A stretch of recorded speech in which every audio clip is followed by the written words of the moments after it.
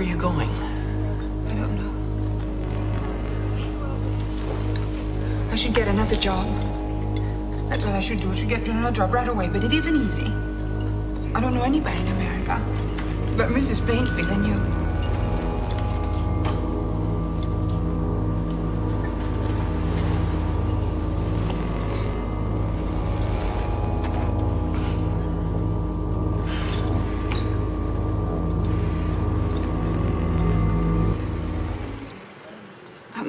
Missing our little meetings. Me too.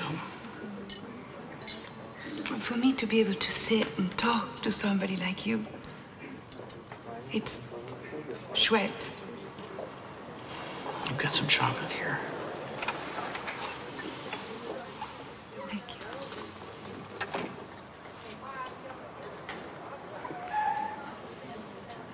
Is this your father's? Joan, I'm not who you think I am. I know. You don't have to explain to me anything. You're a very nice man, and I'm a very practical woman. Have you seen my sneakers? I like those shoes.